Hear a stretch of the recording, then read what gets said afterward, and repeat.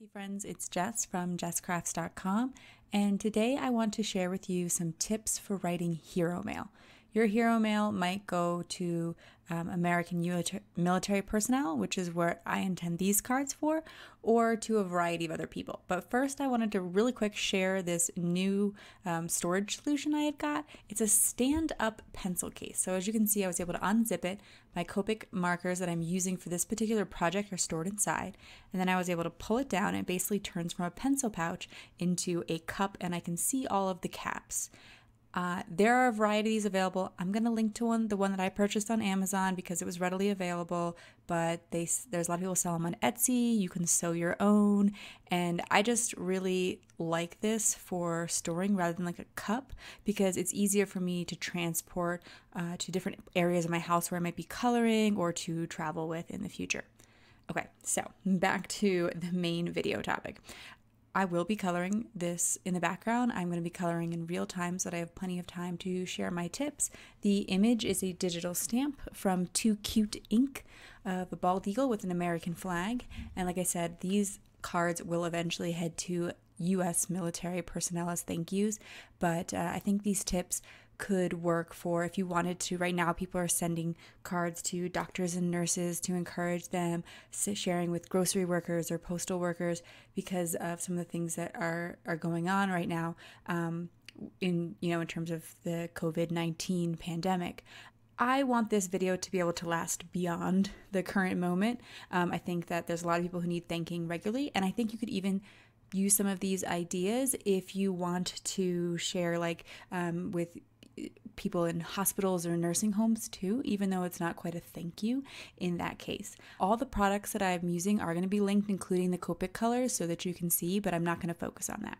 If you were to write some hero mail, the first thing that people you know think of is to thank them for their service and i would certainly think that's a great place to start and honestly if that's all you want to include just a simple thank you message that's great also, feel free to make a connection. If you've served or someone in your family has served, reminding them that, you know, in the, in the military or in the healthcare field, and just trying to make a connection with them and remind them um, of, of other people who are in the same situation, have dealt with the same situation, could be positive.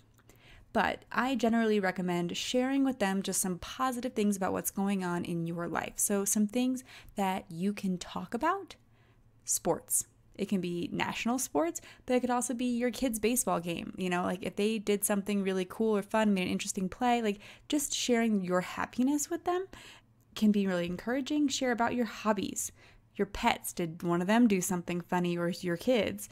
Or share a special memory. So if you like I once wrote a letter about field day because we'd had field day recently at school and I kind of told them here, you know, some of the activities we did and then I, you know, said prompted them to think of some positive memories, like what did you do during field day when you were young? What was your favorite game? So, or sharing about your garden would also be a great one. Uh, if you don't want to share something as personal, you could share a joke, um, a funny story that you read somewhere, or a comic book. You won't know the audience usually, so I would generally recommend keeping it pretty general, something that most people would find humorous these suggestions come from working with organizations and donating to organizations over the year. So, a shout out to Operation Gratitude, a million thanks, and Operation We Are Here. They have websites, uh, they have pages on their website that share some tips, and some of these tips are their tips. So, I don't want you to think that, you know, this is completely my creation. Um, there will be a coordinating blog post where I'll write down all of these tips and suggestions and I will link them. Okay, so most organizations say avoid politics completely, and I definitely agree. Um, I just don't think that is a very positive thing to share most of the time, and also you don't know what they that person will think. Uh, but some organizations say keep religious messages minimal, no religious messages, or encourage religious messages. So please check your organization. A simple praying for you is usually okay but uh, I wouldn't want your card to not be able to be used by like a hospital that sometimes they can't share any religious messages because they don't have a religious affiliation. So, just something to be aware of. Check with your organization if it's okay to share your contact information. Some organizations encourage you to share your email or your address in case the hero wants to write back. Of course, don't expect anything back, but if that is something you like, maybe you would like to have a pen pal, you know, that's something that you could include, but again, check with any particular organization you're donating to. This one's a great one. Get kids involved. Kids love to be involved. When I was a teacher, I would have kids write messages to soldiers on Memorial Day or Veterans Day, and um, or we would write, we'd make cards for hospitalized kids on Valentine's Day because they were sharing cards with each other, and it was a fun way to make a few more cards. Just be careful about including any personal information about kids, especially if they're not your own children. So we would just use first names. I wouldn't mention the school, their age, anything. I really wanted to keep it very generic, and that's what I would generally recommend. Do not include a date, year, or strong indicator of time. The organization may not be able to get your card to the recipient for months or a year just because of how long it takes them to process things. Um, so you don't, unless you know you're writing a card for a specific holiday, like people organizations will encourage like winter holiday cards, Christmas cards, etc. That's fine. But in terms of just your general card, you wouldn't want it to like them to realize that it's been months and months and months since you wrote to them. Consider including non-personal photos, like photos of like landscape photos you've taken, photos of your garden, photos of your pets. You know, of course, be considerate of other people's privacy and personal information.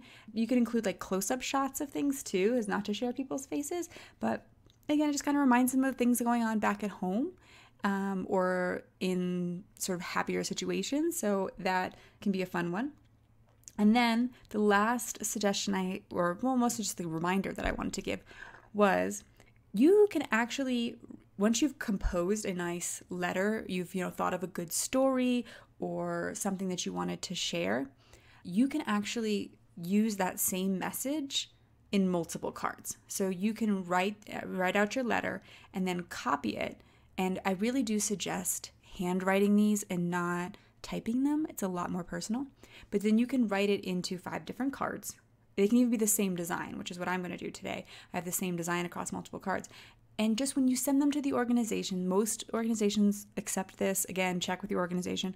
But you can bundle them together and just like make a note to the organization hey these all have the same message and they'll send it to different groups stationed in different places so that all the you know the time and thought that you put into that great story that great message you can you know brighten a few people's days with it that is a general suggestion there other thing is i have a page on my blog um, it's called the Card Drive Resources page, and it shares with you many places that you can donate your cards. A lot of people who followed my channel for a while know that I donate a lot of cards and I make a lot of cards for that um, specifically.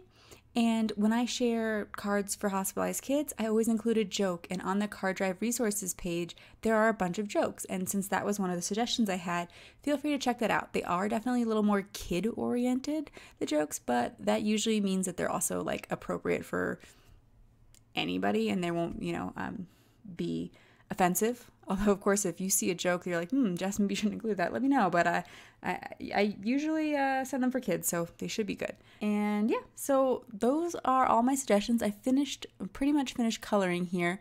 I decided to use cool grays for the flag and for the bald eagle because when I searched a picture of a bald eagle, it did look a little bit more on the cool side to me personally. And these are printed and then die cut with Kat Scrappiness stitched scallop squares. I have been using really simple blending throughout, and here when I add the grass, because there's a little bit of grass drawn into the digital image, I'm gonna use some flicks of the marker where I start touching my marker very lightly to the bottom and then flick up as I pull it off.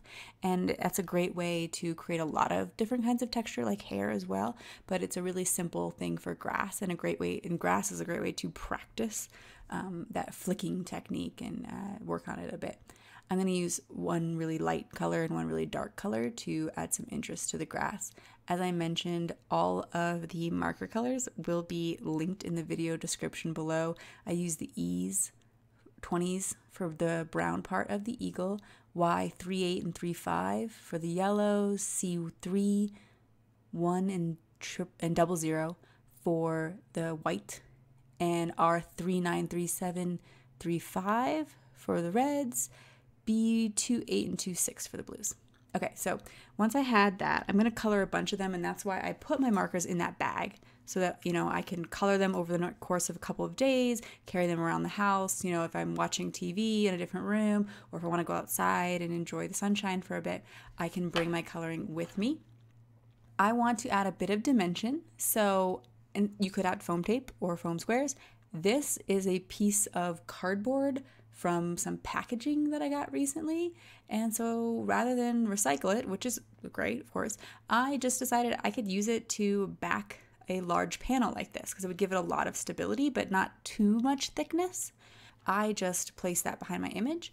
The pattern papers that I'm using are from the uh, My Favorite Things Sweet Celebrations kit, but they're just really simple patterns. My Favorite Things has a lot of great simple patterns like if you want just like some you know stripes and dots and other simple things I, I like their pattern their pattern paper packs for that i'm going to use a sakura i don't think i'm saying that right. Sakura? Uh, Gelly Roll pen white here to just make the stars stand out on the flag a little bit because they were black before. So hopefully it's given you some interesting details on the uh, card if that's what you were interested in. I will link you to all the resources the blog post i really hope you can find some time to send out some encouraging cards to different people if you send hero mail and you have any suggestions please leave them in the comments for other people to check out. If you like this video please give it a thumbs up. If you're interested in more crafting tutorials be sure to subscribe to my channel. Thanks so much. Bye